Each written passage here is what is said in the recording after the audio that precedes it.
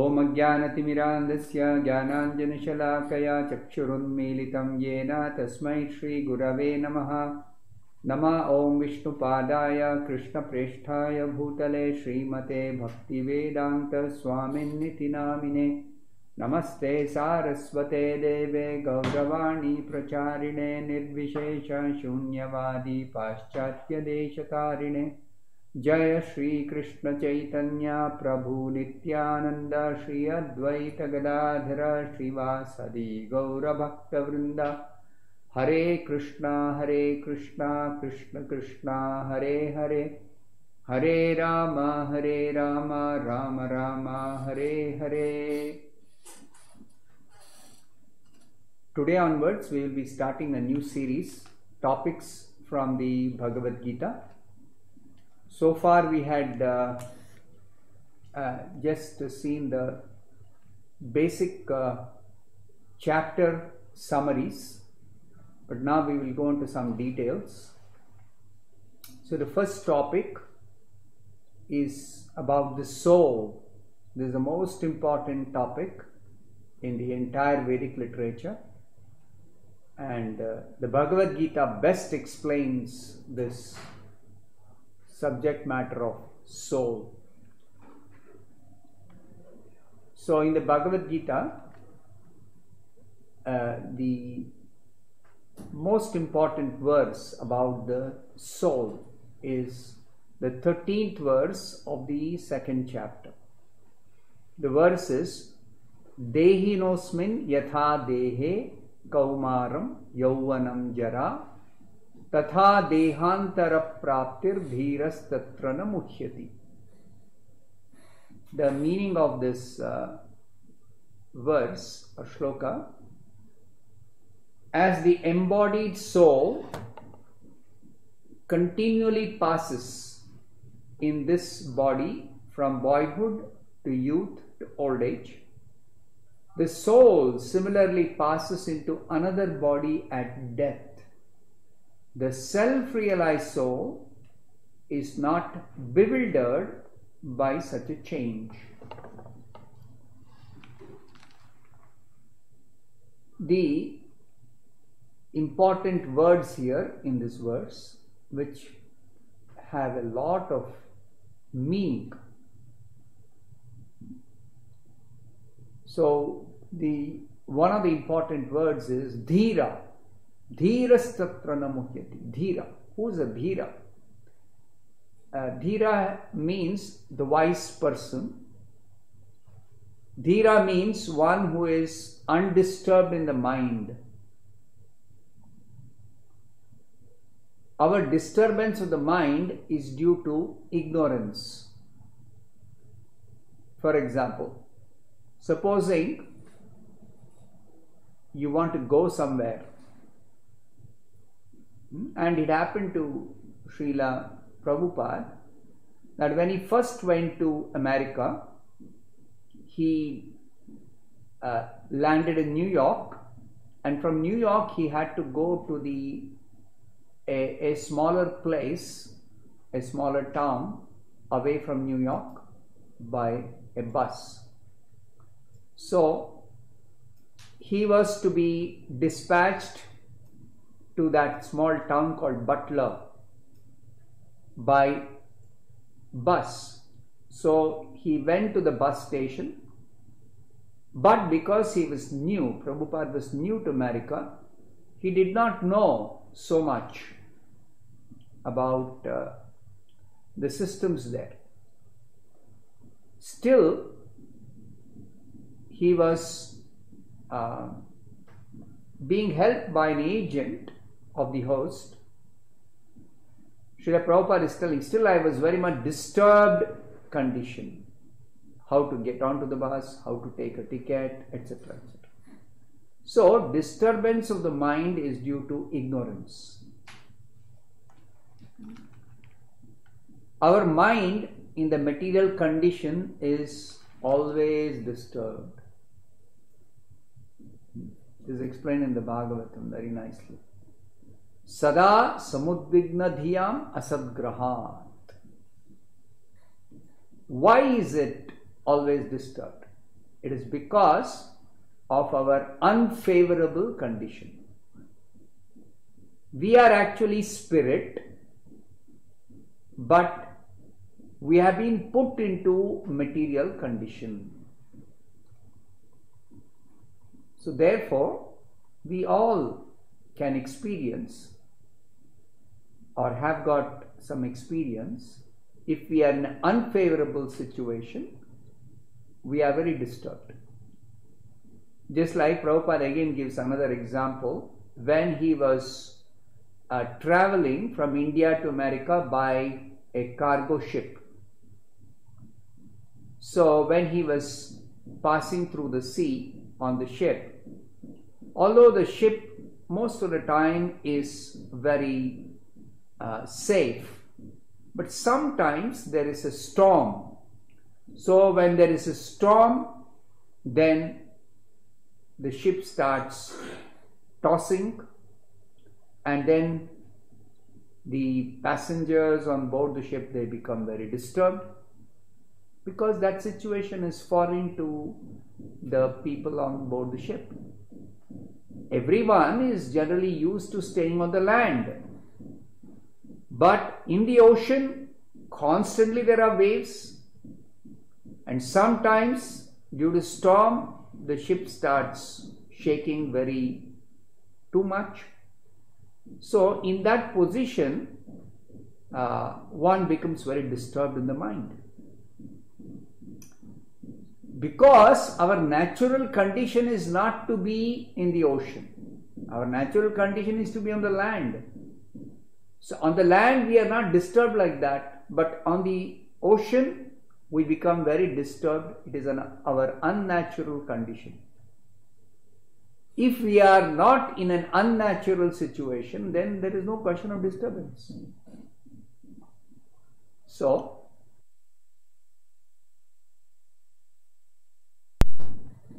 Dehinaha means one who has accepted Deha or material body. I am within this body, each one of us, we are within the particular body now we should understand I am not this body. Just like a gentleman, he is within his shirt and coat. Similarly, we should understand the actual person, the spirit soul, is within the body and the mind. Two coverings we are actually spirit soul, but we are covered by two coverings. What are the two coverings? The inner covering is the covering of the mind, and the outer covering is the covering of the body, this gross body. This gross body, actually, to understand better why uh, this is being explained this gross body is made up of five elements earth, water, fire, air, and ether. And we can understand in this planet, which is called the earth planet, the earth is earth element is very prominent even though the material body the gross body, this body, external body, is made up of five elements. These five elements are like five ingredients for this body. To give an example, if there is a building, the building is basically made of earth, water and fire. How is that? People takes some uh, earth, clay and they mix it with water and then it is made into a shape of a brick and that brick is put into fire. Then when the brick is nicely baked it is strong. Then it is removed from the fire and it is ready for being used to set into a big building so basically the building is nothing but earth, water and fire. Similarly, our body is not just three elements but earth, water, fire, air, and ether. It's like we are breathing, we are breathing air, so there is air within this body. Then there is the outer skin, which is earth. Then there is heat in the uh, stomach, that's called the fire of digestion. So the fire element is there. If the heat is not sufficient or the fire is not proper, then we cannot digest the food we eat. So, like this, the uh, five elements is what this body is made of. But among all these five elements, the earth element is very prominent, especially for those living on the earth planet. But there are other planets, just like the sun planet. There, sun planet, the fire element is very prominent. So there, the bodies are made of fire. And there are aquatics in the ocean. So those aquatics, their body is mainly made of water if those aquatics who are very comfortably, nicely situated in the ocean, if they are removed from the ocean and brought to the land, then immediately they will die. So they cannot live on the land as much as we cannot live in the water. So, similarly, uh, our situation should be as spirit soul we should not be in this material atmosphere. So, uh, the material atmosphere is the foreign atmosphere. Now, this material atmosphere itself, we to understand basically because of this body, uh, the body, the gross body, made up of five material elements. These material elements, even though uh, we may not technically understand what these elements are, but we can perceive just like uh, there is the uh, touch sensation by which anything which is earthly element we can feel, perceive.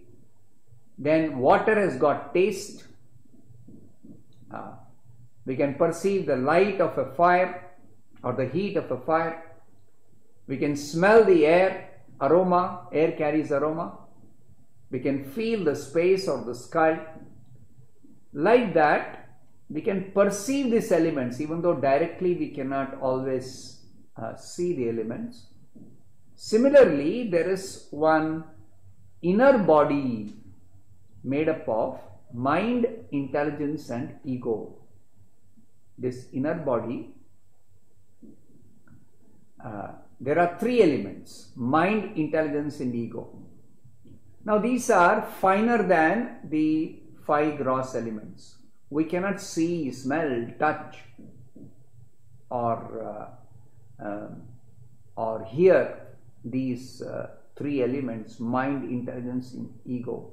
We all know you have a mind, I have a mind, I have intelligence, or you have intelligence. But we cannot perceive these things the way we perceive the gross elements. Similarly, ego also, mind and intelligence, we have some idea, yes. Mind is a seat of emotions, and intelligence is the is the one that gives us direction, discrimination capacity, learning ability, ability to uh, acquire knowledge, yes. But then what is this ego? This ego is everyone has their individuality. it's like I'm a man, I'm Indian, I'm intelligent. Uh, like this, this uh, conception is called ego.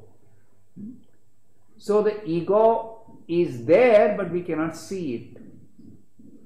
So they are very fine things, this mind, intelligence, and ego. So it is explained that just like these three subtle elements, finer elements, mind, intelligence, ego is finer than the gross five elements. The soul is even finer than the mind, intelligence, and ego. It is actually the finest. The soul is the finest. So, therefore, there is no question of perceiving the soul either through our gross senses or through our mind or intelligence or ego. We cannot perceive the soul at all by these. So, uh, it is explained that uh, these eight elements earth, water, fire, air, ether, mind, intelligence, and ego they are described as the energy, one energy of Krishna, the Supreme Lord. And we can ex- uh, we can experience the presence of the Lord in his uh, by his different energies. The example is given just like fire is situated in one place, but it spreads heat and light uh, over a much, much bigger area. Similarly, the Supreme Lord is situated in his uh, personal abode, but his energy is spread everywhere throughout the material creation. So, the whole material creation is the energy of the Supreme Lord Krishna. So, those who don't have this understanding that ultimately everything which is matter or material is simply a combination of the different elements of the material energy. They simply go by what they are able to perceive or what they are able to see or what they are able to experience in a gross way or even maybe subtle way. But they don't consider that inside this body there is a spirit soul. They have no vision to see the spirit soul, neither they are able to understand this how this body is working. They have no clear conception. Uh, the the scriptures say that actually uh, what is moving this body it is actually the real living force within the body that is moving this body. So long this living force, which is the soul, the spirit soul, is there in the body, the body is working. As soon as the spirit soul leaves the body, we know what happens. The body is no more working body. It's a dead body. So, this is the most important point. The difference between a living body and a dead body is that inside the living body there is a spirit soul and out without the spirit soul the living body becomes a dead body now for studying this gross body there is the uh, medical science for studying the mind they have some branch of uh, learning called psychology or psychiatry but there is no branch to study the science of the soul, which is actually moving the entire body and the mind itself. Uh, the soul is moving. So somebody is thinking, uh, I am the mind, or somebody is thinking, I am the body. But actually, they don't know we are neither the body nor the mind, we are something within the body and mind. We are actually the living force, the the life force or the living force, the spirit soul, that they are unable to understand. Now, this knowledge that we are spirit soul, each one of us, every living being, is being imparted in the Bhagavad Gita by the Supreme Lord Krishna, who is the supreme authority. Hmm? So he is telling Dehi, Dehi no sminyatha Dehi, Dehinam, uh, Dehinaha. So Dehi means one who is the proprietor of the body, the soul, you are proprietor of your body. So, to understand the difference between the body and its proprietor, very simple way we can understand that I say this is my finger. I don't say I finger. My finger. My face. My hand. Correct? So, why do I say my hand or my face or my finger? It is because I am the possessor of this finger, this face, this hand, this body, my body. So, very clearly, there is a difference between I and mine. So, everybody understands my body or my possessions or my parts of the body, but nobody thinks when I say my body, who am that I? Who am I? That there is no knowledge, there is no inquiry, there is no understanding. Even people, so long in their body they are living, they are claiming this is my shirt, this is my house, this is my book, this is my, so many mine. But when the person is dead, any more such claims are there? No, no more claims. So, this human life is specially meant for understanding the I within. Who am I?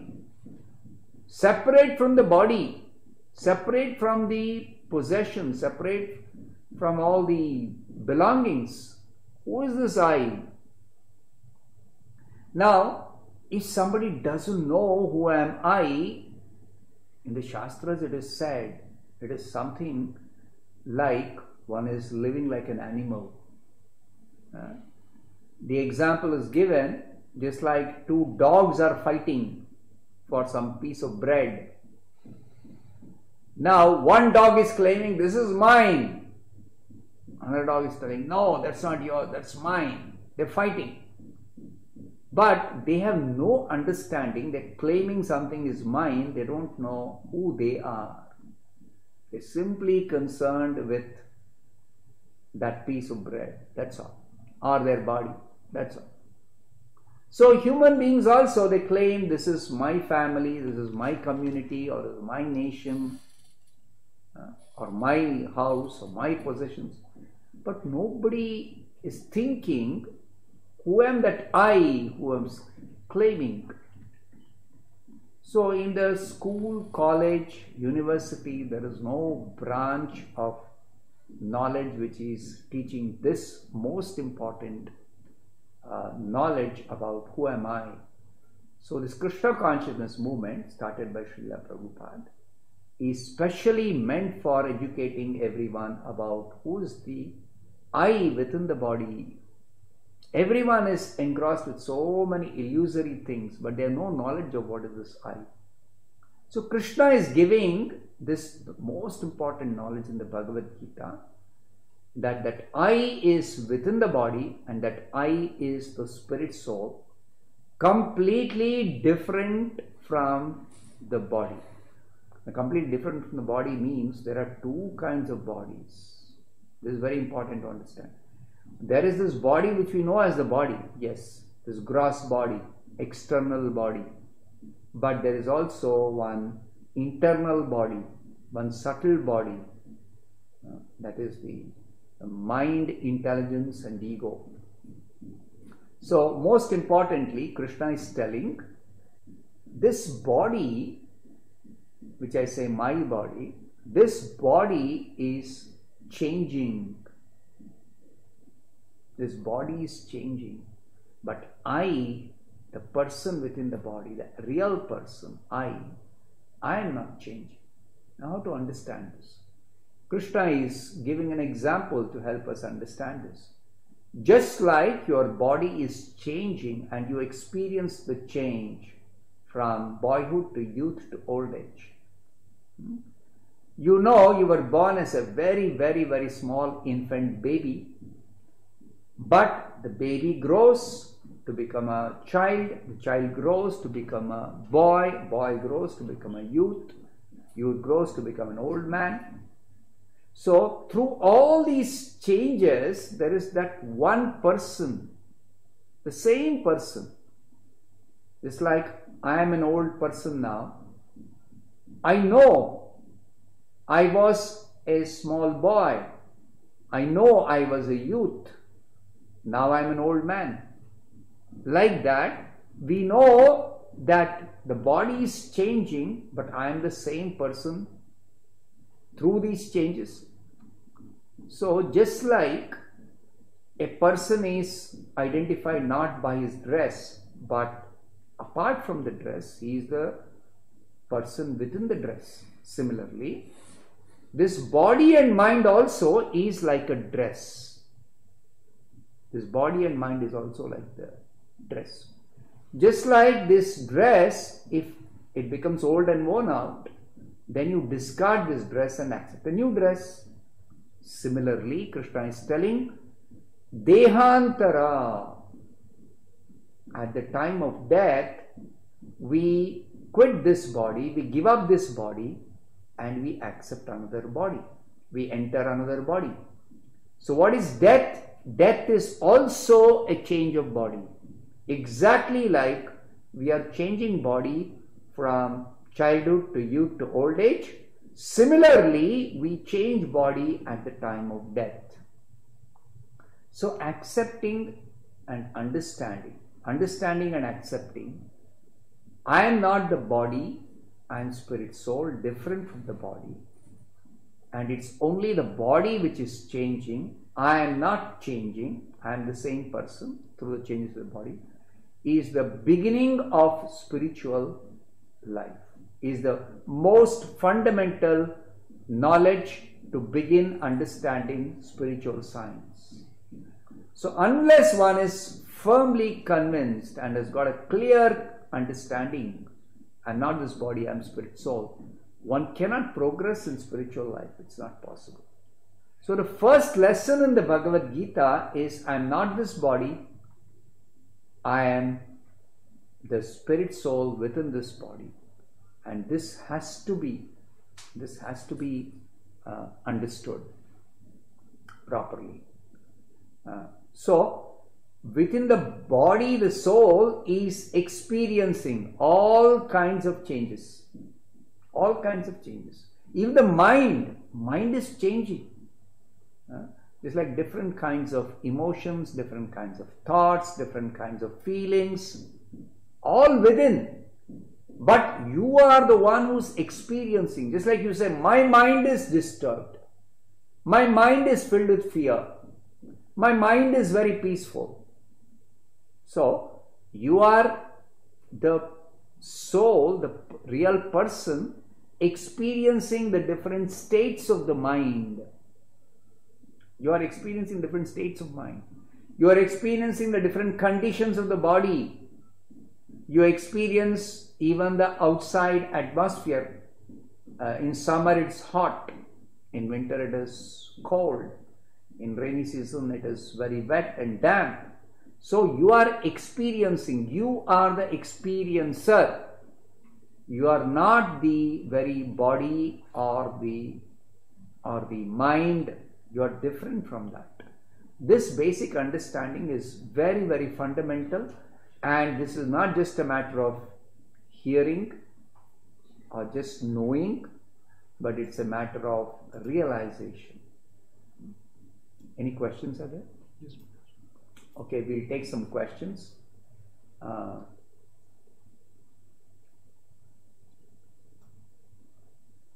what are the faculties of the soul that we're going to discuss in a answer this question in brief. The soul is the fundamental experiencer.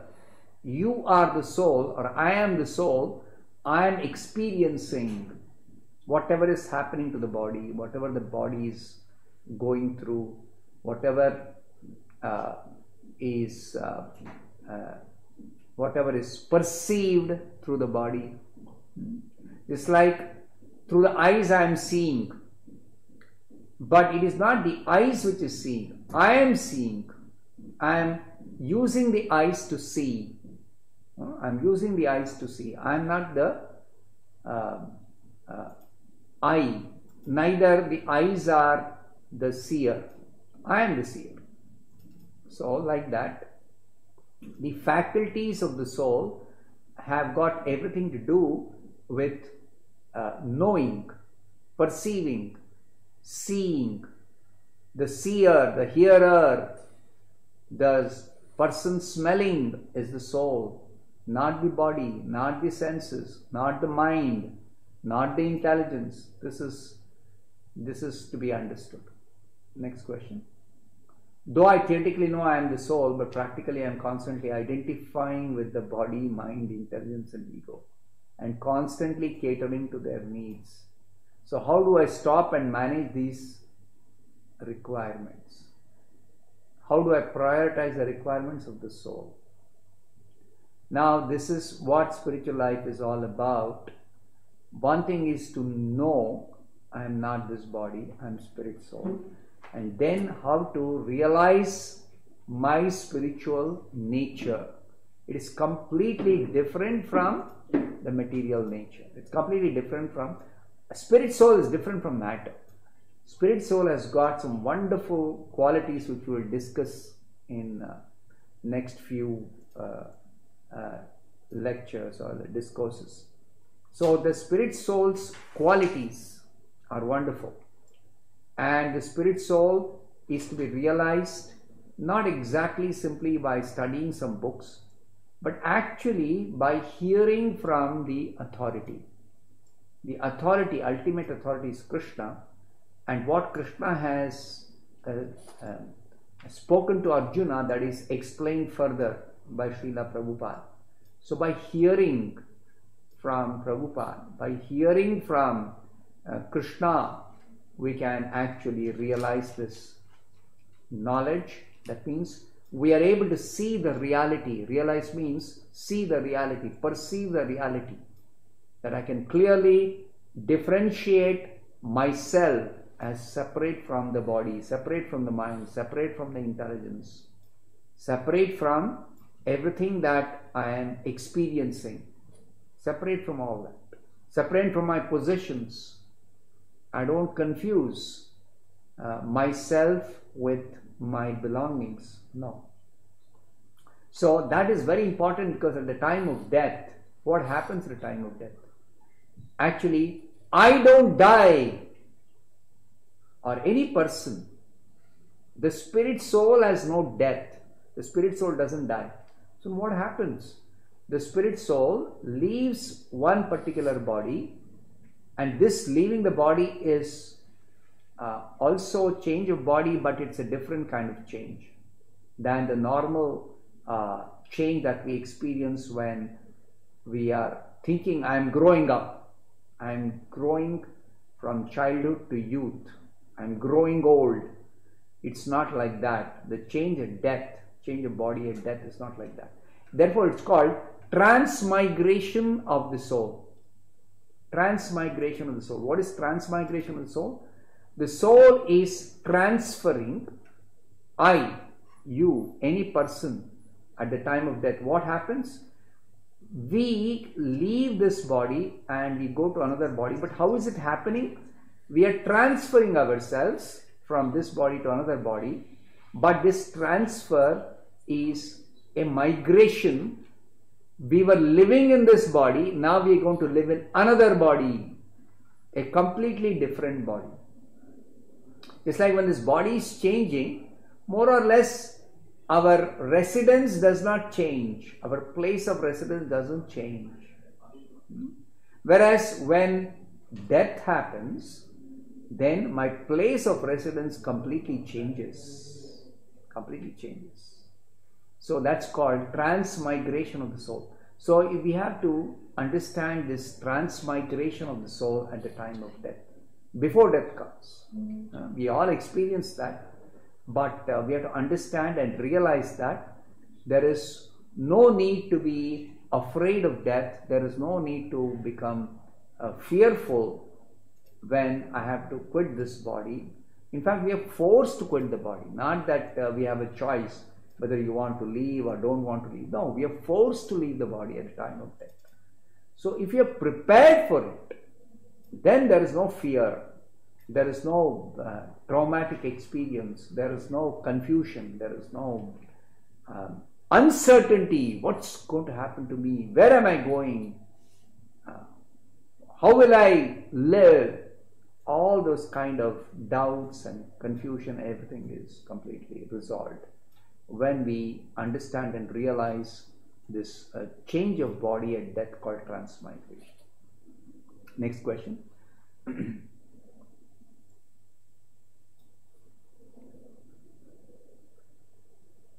I am not this body but spirit soul in the beginning is the beginning lesson. How do you practically realize that I am the soul? That's exactly what we're going to discuss in the future. This thing it is only possible by practicing spiritual life. Realization is only possible with spiritual life. Soul uh, is spiritual body